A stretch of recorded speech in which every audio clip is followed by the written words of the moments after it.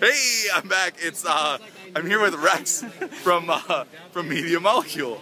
Uh, you're a creative director on Tearaway, That's right. which looks amazing. It's all paper crafty and you can poke at things with your finger and Yeah, it looks amazing. Thank you very much. I like it. So yeah.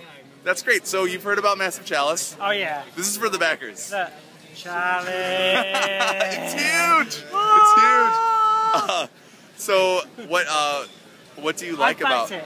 Thank you. Yeah, Thanks for backing. yeah. What do you like about Massive Chalice? Uh, I like the chalice. I like the scale. You like the scale. I've heard the scale. scale. We thought about the scale a lot. That was the big uh, focus of development for us. I, uh, I, I, there was another project I nearly backed called uh, Diminutive Chalice. Uh, but that Oh, it was diminutive goblet. Actually, Yeah, is what it was called. okay, yeah, So and, we uh, we took a lot of inspiration from them, and we thought Yeah. that you know we just thought we could scale it up from Yeah, your yeah, endeavor. yeah. You, you I'm glad- Totally, yeah. You've knocked it out of the park.